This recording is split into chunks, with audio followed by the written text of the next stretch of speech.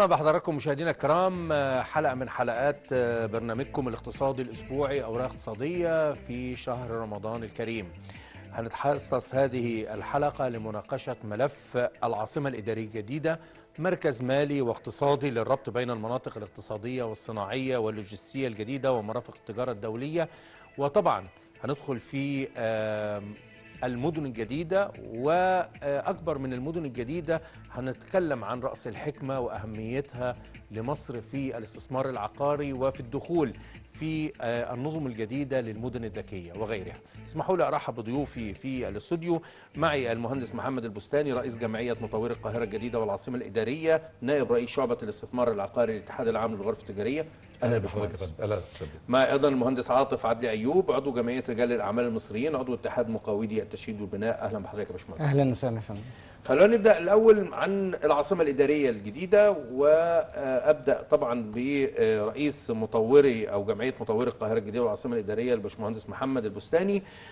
المفهوم جديد ظهر في المدن هو ما يسمى بالمدن الذكية وإحنا طبقناه في العاصمة الإدارية الجديدة ليكون ثورة تكنولوجيا ومركز اقتصادي مركز مالي وربط أيضا بالمناطق اللوجستية اللي موجودة واللي إن شاء الله هتكون موجودة أكتر. أهمية مفهوم المفهوم الجديد للعاصمة الإدارية. طيب تسمح لي أرجع ورا شوية فضل. في مفهوم المدن الجديدة م. عشان برضو السادة المشاهدين اولا كل سنة وأنتم طيبين للسادة المشاهدين ورمضان كريم على الجميع. آه عايز أرجع شوية لورا شوية وأقول إيه المدن الجديدة وإيه نشأتها وجت إزاي أصلا يعني. المدن الجديدة دي أصلا نشأت لما آه في باريس فرنسا المدينة ترهلت والمرافق إدمت وكده حبوا يطلعوا من الوادي دوت في الخمسينات. آه طب يعملوا إيه؟ فبدأوا يعملوا مدينة جديدة حول باريس آه وكده. بدأ بعد كده الموضوع اتطور وبدأ في أمريكا وبعد كده نشأ في مصر هيئة المجتمعات العمرانية نزل بها قرار جمهوري سنة 78 بعد الرئيس الراحل محمد أنور السادات والوزير المحترم حسب الله القفراوي وتم تدشين أول هيئة المجتمعات العمرانية الجديدة وبدأت المدن الجديدة تنشأ في مصر سنة 78 وبدأت بالجيل الأول. ودايما الناس بتقول لك جيل أول وجيل ثاني وجيل ثالث وجيل رابع. هو الأجيال ديت الجيل الأول والثاني والثالث والرابع دي حقبات زمنية. زي الجيل الأول اللي نشأ فيه مثلا مدينة السادات مدينة العاشر من رمضان 6 أكتوبر المدن القديمة ديت. وبعد كده المدن دي نفسها بدأت حتى يعني تتطور أكتر. ليه؟ لأن بقى ما كانش فيها بنية تحتية لا, كان في حاجة اسمها نت ولا في حاجة اسمها مدن ذكية ولا ولا ولا. فبدأ الكلام ده يراعوه في المدن الجديدة اللي هي مدن الجيل الرابع. مدن الجيل الرابع وعلى رأسها العاصمة الإدارية اللي إحنا بصدد الكلام عليها دلوقتي. فمدينة مدينة سستينبل مدينة مستدامة. مدينة العالمين الجديدة مدينة المنصورة الجديدة. دي كلها مدن مستدامة ومدن smart ومعمولة على أحدث الطرز العالمية. طيب العاصمة الإدارية يا باشمهندس عاطف الناس كلها فاكرة إن إحنا بانيين عاصمة عشان الجهاز الحكومي. لكن في الحقيقة هو إحنا بنقول إحنا عايزين مركز مالي واقتصادي يعني لازم ال headquarters أو مراكز إدارة الشركات الكبرى والإدارات كلها تكون في العاصمة الإدارية. مجموعات الاقتصادية الكبيرة البنوك وغيره. فكرة تجميع هذه المراكز الاقتصادية والسياسية والمالية في مكان واحد وربطها كلها ببعض. هل العاصمة الإدارية الجديدة قدرت تعمل دوت؟ وإيه أهمية ده؟ مساء الخير. كل سنة وأنتم طيبين. انت طيب آه إحنا دلوقتي كان في بالنسبة للمدن المدن زي العاصمة الإدارية الجديدة وكده اتعملت على أساس مظبوط. يعني بمعنى إيه؟ الطرق آه واسعة مظبوطة فيها مرافق مظبوطة فيها خدمات لكل الناس فيها آه زي برضو حاجات ترفيهية. يعني السنترال بارك أو أو النهر الأخضر اللي معمول ده على يعني من أكبر من أكبر الحدائق اللي هتبقى في الشرق الأوسط. فإحنا بنتكلم على 1000 فدان بطول 10 11 كيلومتر. ففيها الأساسيات بتاعتها معمولة صح. وفي نفس الوقت هتشتغل على أساس منظومة الجيل الرابع زي ما الباشمهندس محمد تفضل. وفيها برضو هيبقى فيها ريسايكلينج إعادة تدوير. إعادة تدوير بالظبط كده. آه، فأنا شايف إنها يعني اللي فاضل بس إن إحنا آه، نعمل زي تسويق لجذب الاستثمارات ال- ال- الشركات والبنوك وكل المستثمرين. نعم. طيب آه، باشمهندس محمد يعني زي ما قال الباشمهندس عاطف الناس شايفة إن محتاجين تسويق تسويق يعني إيه مدن ذكية؟ الناس اللي هتروح تعيش هناك هت- هتستفاد إيه؟ آه، النقل وطبعا إحنا عندنا ثورة في النقل دلوقتي والقطار السريع والمونوريل وعشان يربط هذا المكان بمناطق تانية. وفكرة الربط ال- ال- بالمناطق اللوجستية والربط الإلكتروني عشان كده شبكات الإنترنت والفايبر وال- والسرعات العالية ما عادش محتاج إن أنت تبقى موجود في مصنعك أو موجود في في, في المنطقة اللوجستيه عشان تمشي شغلك. أستاذ حسام بص أقول لحضرتك حاجة. الخطة اللي اتوضعت لمصر سنة آه، 2016 خطة تنميه مستدامه هي اسمها تنميه مستدامه مم. والاستدامة معناها اللي هي حفظ حقوق الأجيال القادمة في الموارد الطبيعية وده اللي تم فعلا في المدن المستدامة ومصر رائدة في الاستدامة في المرحلة اللي هي موجودة فيها. وآخر حاجة كانت مستضيفة كاب 27 في شرم الشيخ سنة 2022 برضو اللي هو بيتعلق بالمناخ والاستدامة. نرجع بقى للعاصمة الإدارية. العاصمة الإدارية أصلا زي ما قلت لحضرتك هي متسوق لها ومتسوق للتجربة العمرانية كلها في مصر. يعني حتى التجربة العمرانية لما فخامه السيد الرئيس راح الكوميسا في آه، من حوالي خمس ست أشهر كان واخد وفد رفيع المستوى وكان في زيارة لأربع دول أفريقية لتصدير التجربة العمرانية اللي قامت بيها مصر في المدن الجديدة وعلى رأسها العاصمة الإدارية. فهي already التسويق موجود. إحنا بس بينقصنا زي ما اتفضل عاطف وقال إن إحنا نسوق بقى لتصدير العقار. إنما إنما فعلا التجربة العمرانية متسوق لها ومعروفة وتدرس الآن إيه- وتصدر هذه التجربة. نرجع وال- واللي عايز أقول لحضرتك حاجة بقى كمان إن أنت ما كنتش تقدر النهارده تتكلم على أي استثمارات تيجي مصر بدون ما يكون الدولة ليها مرافق وليها بنية تحتية. طبعا.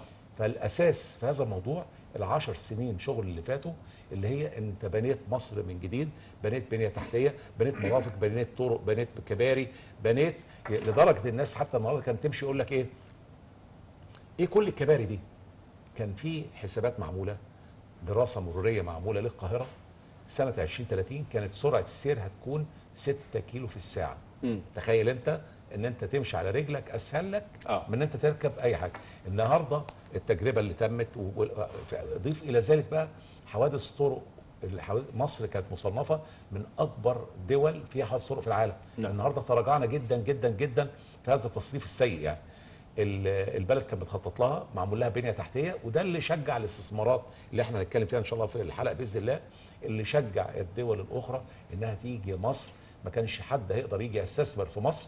في دولة ليس لها بنية تحتية وبنية تحتية معمولة على أحدث الطرق العالمية صحيح. وتستمد إلى 100 سنة قدام. تمام. آه، باشمهندس عاطف آه، دور القطاع الخاص دايما الرئيس بيأكد عليه والعاصمة الإدارية طبعا أغلب الناس عارفة إن هي مبنية بأيادي القطاع الخاص وإن أغلب المطورين العقاريين موجودين هناك بيعملوا كل حاجة بداية من المناطق الحكومية وغير الحكومية. فدور القطاع الخاص لما نتكلم عليه في هذه الفترة وخاصة في قطاع التشييد والبناء آه، 90% من قطاع التشييد والبناء وإحنا بنتكلم بس مش على شركات مقاولات بس عشان الناس لما بتف- تسمع قطاع تشييد وبناء إحنا بنقول قطاع ال- المقاولات أو قطاع التشييد والبناء بيضم 90 ل 100 صناعة داخلية جواه تمام. دور القطاع الخاص شايفه إزاي في هذه الفترة آه، مبدئيا اللي حصل في العاصمة الإدارية ده إحنا عايزين نقول إن هو كان حلم أصبح حقيقة. مم. ليه بقى؟ لأن إحنا ال ال ال المساحة بتاعه العاصمة الإدارية إحنا المساحة بنتكلم في 170 ألف فدان كويس؟ المرحلة الأولى 40 ألف فدان ف واللي اتصرف عليها من المستثمرين آه، قطاع خاص فوق ال 300 مليار مم. كويس؟ فاحنا ال ال الموضوع بيعتبر زي ما يكون شراكة. ما بين هيئة المجتمعات أو الحكومة أو الحكومة ممثله في هيئة المجتمعات والقطاع الخاص. فدي نقطة مهمة جدا لأن لو إحنا قارنا آه، ال- المساحة ال- أو ال- ال- اللي هي كانت من سبع سنين صحراء والنهاردة بقينا نشوفها عاملة إزاي دي طبعا آه، عايز أقارنها لك مثلا آه، مثلا دولة سنغافور وا- واحد وواحد آه، حوالي تقريبا نفس مساحة آه، الإدارية. حوالي 743 ألف كيلو. إحنا 700 كيلو مربع. آه، آه، موناكو آه، آه، كيلو آه، كيلو فاصلة تسعة تمانية يعني تقريبا 2 كيلو. آه، دبي 35 كيلو متر مربع. فاللي اتعمل آه، بالتعاون ما بين القطاع الخاص آه، والحكومة أو القطاع العام أو هيئة المجتمعات يمثل طفرة كبيرة بس إن شاء الله بنأمل إن هي تك- تكمل ونلاقي آه، ثمار ال- ال- ال- المشاركة دي. طيب باشمهندس محمد يمكن من شهر تقريبا أو أقل من شهر كان في آه، شراكة استثمارية بين الحكومة المصرية وبين شركات آه، إماراتية في رأس الحكمة.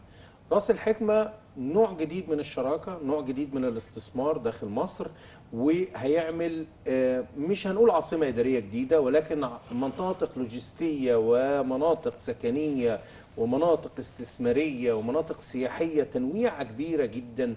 آه، شايف هذه الصفقة إزاي وهتساعد تنشيط باقي الاقتصاد المصري إزاي؟ اولا طبعا يعني إحنا بنشكر القيادة السياسية وال- ال- وال- والحكومة اللي هي قائمة على هذا الموضوع إن هم قدروا يوصلوا لهذه الصفقة الجميلة جدا اللي جت في الوقت المناسب. وأنت عارف إن أصل المشكلة في مصر كانت العجز في الميزان التجاري والعجز في الميزان التجاري ده اللي نتج عن الحرب الروسية الأوكرانية من سنتين تقريبا لما ال- الموازنة بتاعت الدولة تحملت آه، أضعاف اللي هي حاسبه لنفسها من موارد للطاقة وال- والغذاء وإلى آخره فأدى عندها إلى إن الخارج عندها في في الدولارات أقل أكتر بكتير من اللي بيخش لها. وازداد هذا العجز كمان مع الحرب بتاعت غزة والأعباء اللي علينا وإن ت- اتأثرت قناة السويس الدخل بتاعها كمان. فكل ده عمل ضغط على الميزان التجاري اللي هو فرق ما بين اللي بيخش لمصر الدولار واللي بتصرفه.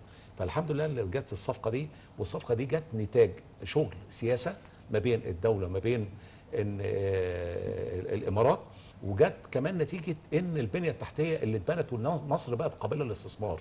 يعني النهارده مفيش آه، رأس المال زي ما بيقولوا رأس مال جبان. مفيش حد هيقدر يحط فلوسه في أي منطقة وهو عارف إن هو هيخسر. بالعكس بيبقى عنده حسابات جيدة جدا.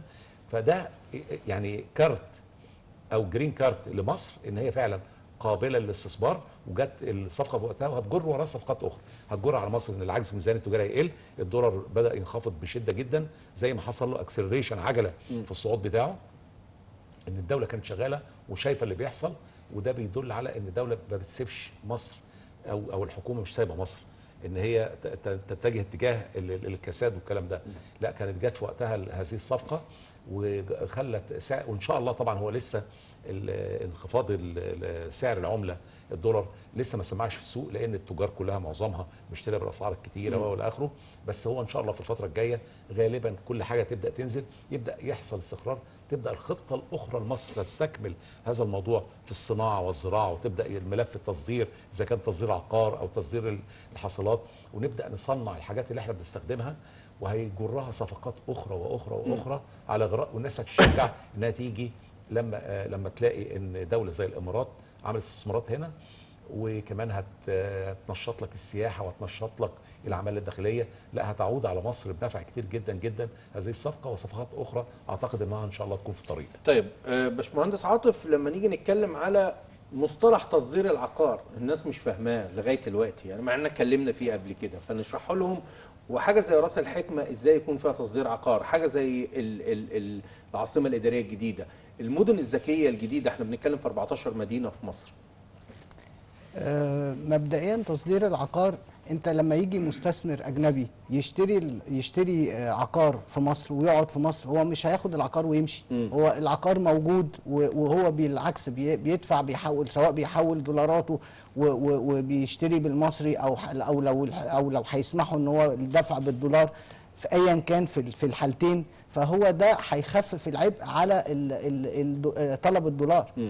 فدي دي حاجات كلها مطلوبة وبنجذب الناس وبنجذب ال- ال- المستثمرين وبنجذب آه، الشركات كمان إنها تيجي آه، تحط ال headquarters بتاعها هنا فدي كلها حاجات مطلوبة عشان نخفف الطلب على ال- بس على الدولار. هل هي طلب تخفيف طلب على الدولار ولا فكرة إن كمان آه، تشجع الناس إن هو يجي يستثمر مش مجرد هيشتري أسهم ولا حاجة ويبيعها في أي وقت لا هو عنده مكان يحس إن هو موجود في بيته أو موجود في في في, في بلده الثانية فاللي هو يبقى الاستثمار دائم بالنسبة له طب يعني لو تسمح لي بس. أضيف آه، نقطة اتفضل. مع مهندس عاطف هو هو إحنا الأول يعني هي مصر فعلا قابلة لتصدير عقار ولا لأ؟ هل المناخ في مصر يسمح بهذا التصدير ولا لأ؟ هي طبعا في عدة نواحي اللي هي بت- بتحكم هذا الموضوع. أول حاجة إن مصر دولة آمنة مستقرة عسكريا مستقرة امنيا وداخليا وسياسيا دونا عن المنطقة كلها. المناخ بتاعها مناخ آه، مناخ يعني زي ما بيقولوا ربيع طول السنة. فيها شمس وفيها سياحة علاجية فيها تلت آثار العالم فيها آه، آه، بحر يمين وبحر شمال. فيها كل المحفزات اللي تجذب الاستقرار السياسي والاقتصادي اللي يدفع الناس إنها تيجي تستثمر في مصر. ففعلا كل دي محفزات وموجودة. بس إحنا نقصنا زي ما قلت لحضرتك ان إن يتسوق للكلام ده يتسوق له حتى في السينما. أنت بتشوف تيجي تتفرج على أفلام تركية مثلا تلاقي البيوت شكلها جميل والحاجة شكلها جميل. إحنا محتاجين حتى في صناعة السينما نسوق للكلام ده. إن إحنا بدل ما كنا بن... أفلام اللي بنظهر مساوئ مصر في الأفلام بتاعتنا والعشوائيات لا النهارده ما فيش عشوائيات اتقاضى على العشوائيات. النهارده بقى في في دنيا جديدة في مدن جديدة في كوميونتي في مجتمع راقي جدا. النهارده يسمح بتصدير هذا العقار وخصوصا للأجانب. النهارده الأجنبي بيدفع مرتبه كله حتى الناس اللي على المعاشات في أوروبا على التدفئة. أنت عندك هنا تدفئة مجانا كل حاجة مجانا. شمس ربنا سبحانه وتعالى مديها لنا مجانا فلا ينفع مصر تتصدر عقار ينفع تجذب استثمارات وخصوصا إن أنت عندك النهارده شراكة زي بتاعة الشراكة الإماراتية.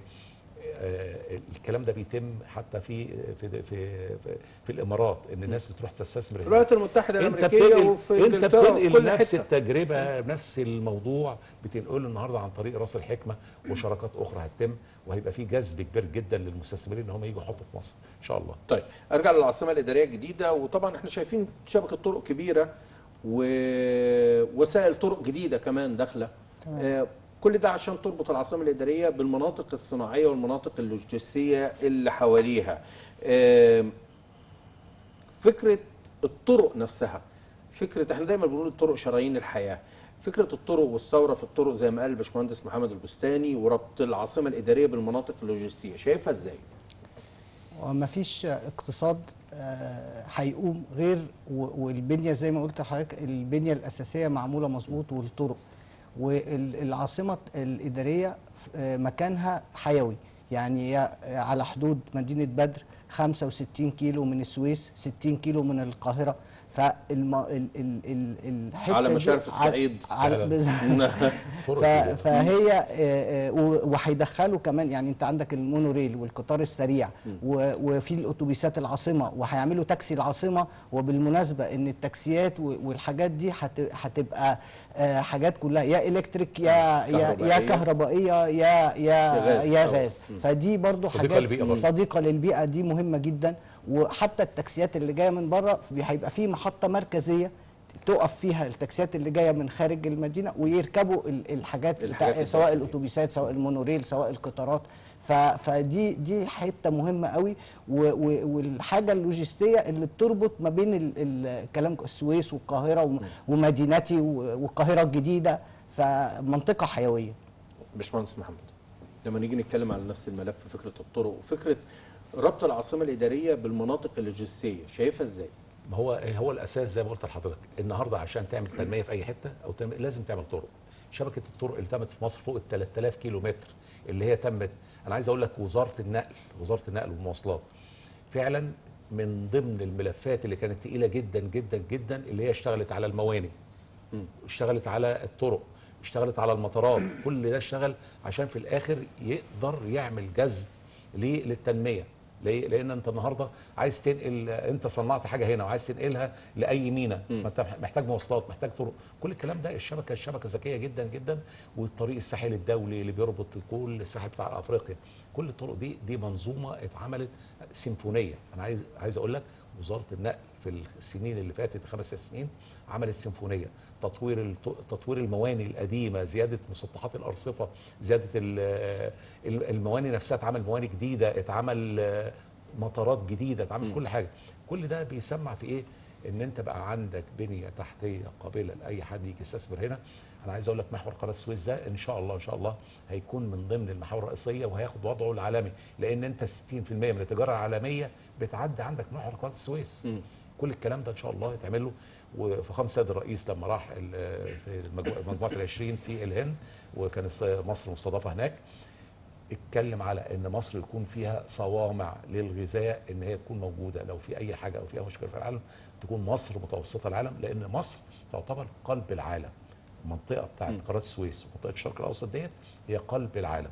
إن هيبقى فيها صوامع ويبقى فيها كان رايح في خمسه رئيس بهذا الملف ويكون محور قناة السويس محور اللوجستي ومحور فيه صيانة لكل السفن العالمية في تجارة عالمية تتم فيه.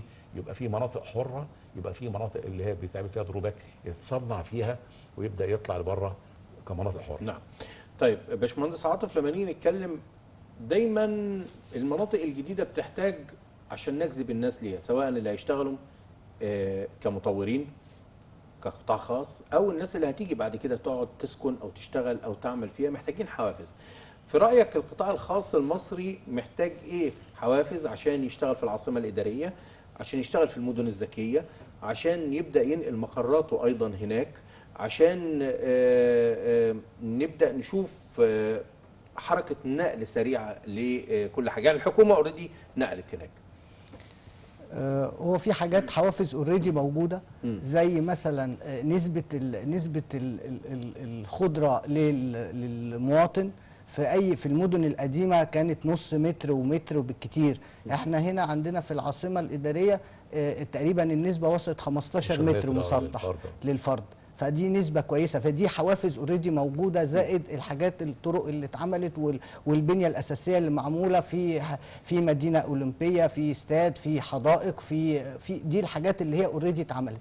الحوافز اللي بعد كده بقى عشان نشجع الناس أنا آه، يعني آه، يعني ممكن نقول إن هم مثلا الناس اللي هينقلوا الشركات اللي هتنقل في العاصمة ممكن يدوهم آه، مثلا إعفاء معينة لمدة كام سنة؟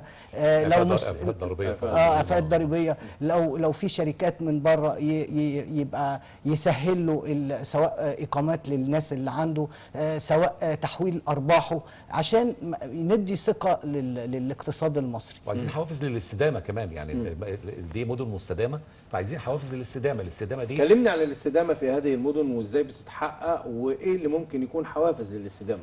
طيب إحنا عشان نتكلم على ال- برضو اللي نتكلم على الاستدامة أول مرة حد يتكلم على الاستدامة كان سنة 80 طلع حد يتكلم عنك قال لك الاستدامة دي الكوكب بيبوظ وبقى فيه ثقب أوزون وفي تلوث و إلى اخره ودرجة الحرارة بترتفع. ودرجة الحرارة لما بترتفع في الكوكب بتؤدي إلى إن منسوب ال- ال- الجلاب جبال الجليد بتدوب وترفع المية والمية دي تبدأ تاكل الشواطئ ويحصل إغراق لبعض الشواطئ وبعض المدن. ودرجة الحرارة وبدأ يتضرر من كل ده من إيه؟ نتيجة ال- إن الناس كانت بتشتغل الدول الثورة الصناعية لما حصلت في أوروبا فبدأت تعمل تلوث في الكوكب. ليه بقى استخدموا الوقود الأحفوري؟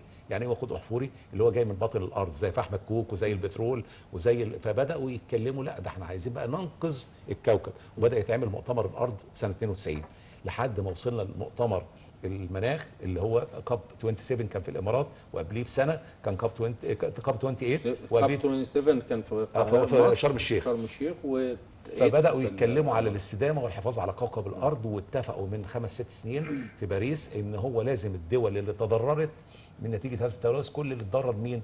الدول النامية اتضرروا ومين اللي استفاد كل من التلوث ده كله؟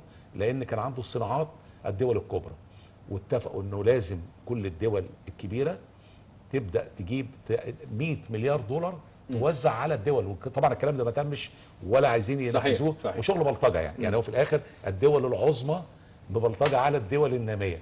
فهو بيحاولوا يفرضوا إن الدول تقوم بدورها وتبدأ تدفع فلوس ثمن التلوث اللي حصل ده. ودي الاستدامة إن إحنا نحافظ على حق الآخرين الأجيال القادمه القادمة، آه. نعم. والاستدامة كمان بتعمل جودة حياة. يعني إيه جودة حياة؟ إن أنت ما يبقاش فيه انبعاثات كربونيه فيش تلوث تلاقي الفريون بتاع التكييف. أنت لما تيجي حتى تصمم المبنى تعمل له توجيه للرياح إن هو ما يستهلكش طاقة.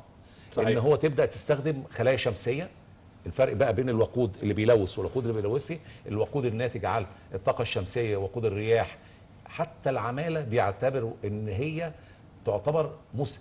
عمالة مستدامة لانها ما بتسته... يعني أنت تستخدم حاجة بالعامل ولا تستخدمها بآلة؟ لا استخدمها العامل العامل مش هيلوث إنما الآلة هتستخدم بنزين طبعا. أو غاز وتلوث. طيب فدي الاستدامة. عاطف لما نيجي نتكلم على آه، التكنولوجيات الجديدة في يمكن قطاع البناء الناس كتيرة شايفاه إن هو ما بيتطورش يعني ما في تطورات كبيرة في حاجات كتيرة يعني.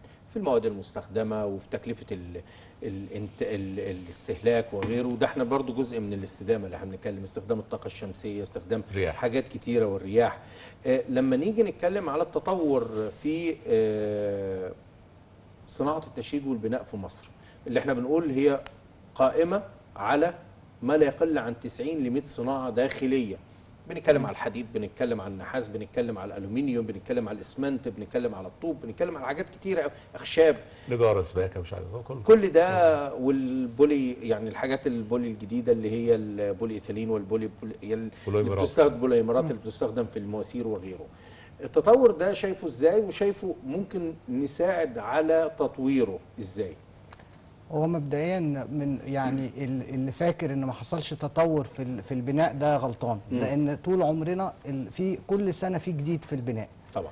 آه، في حاجات جديدة يمكن لسه إحنا ما, ما يعني آه، ما استخدمناهاش. بكثرة. هنا زي في في حاجة اسمها ال- ال- اللي هي ال Cobiax system.